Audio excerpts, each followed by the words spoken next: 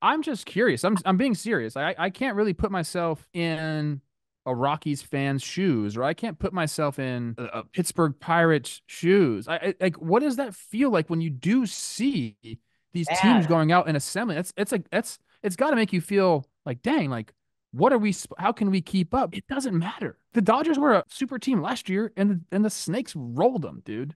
They rolled them. They came out in Dodger Stadium and put like a seven spot up in the first inning. Do you remember that? When's the last time one of these massive market teams, these big payrolls, not just the big payroll, but these big market teams, like they don't they don't win. Were you considering the Rangers a big market team before they went out and put half a billy into their roster? We didn't. Awesome. I think the Diamondbacks are like, yes, dude, this is awesome. We're gonna go slay this dragon again.